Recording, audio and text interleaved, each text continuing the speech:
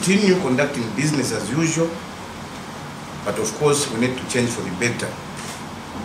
The output of the ministry should be result-based in order to meet people's expectations from the new government.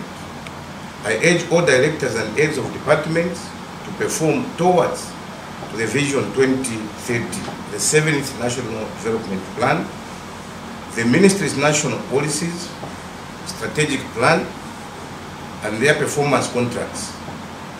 Also allow me to re-emphasize the need to be very professional in the way we conduct ourselves as we execute our duties. I think there is a sense of uh, you can now breathe because initially there was no freedom for our, co our colleagues in the civil service to express themselves.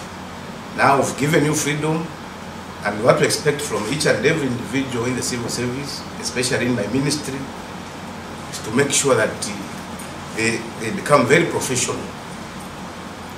If that does not happen, then obviously we'll conclude that uh, it was not about freedom, but the unprofessionalism of our civil service in our ministry. You know, this has a bearing on the reputation of the ministry, and we need to operate as one entity with one common goal. Ladies and gentlemen, we need to appreciate the fact that the government is operating under tight fiscal policy. Departments are being encouraged to develop strategies that will enhance resource mobilization in the ministry. In this regard, I expect departments to be innovative and self-sustaining in regards to mobilization of resources for program implementation by enhancing cooperating partners in program implementation.